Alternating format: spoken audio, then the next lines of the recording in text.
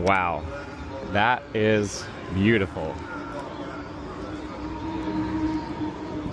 This is the brand new Lamborghini SC63 prototype race car that will race at the 24 Hours of Le Mans and the IMSA WeatherTech Series and World Endurance Championship. And it looks amazing. I mean, look at those headlights. What's cool is it looks like a Lamborghini. Like, it looks like... Those are the Lamborghini headlights. That's, that's what it should look like.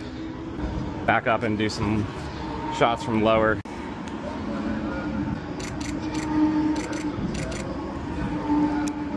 Get those nice low angles.